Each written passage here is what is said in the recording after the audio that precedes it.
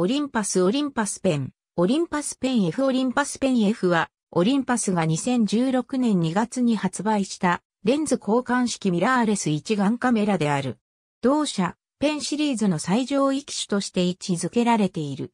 オリンパスは1963年に世界初のハーフ半レンズ交換式一眼レフカメラ、オリンパスペン F を発売した。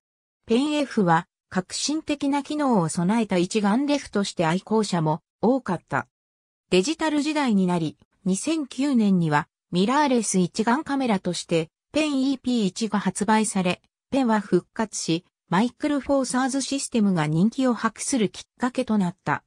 EP1 に始まるオリンパスのペンシリーズは、ファッショナブルな外観でカメラ女子の象徴的存在となったミラーレス一眼カメラとして人気を博した。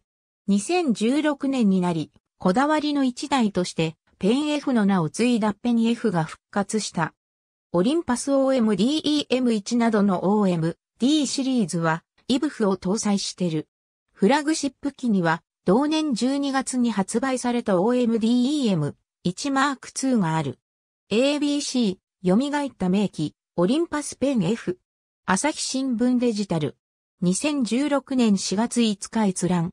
ABCDE、オリンパスのペン、F イブフ搭載しモノクロ撮影が魅力。日経トレンディネット。2016年4月5日閲覧。ありがとうございます。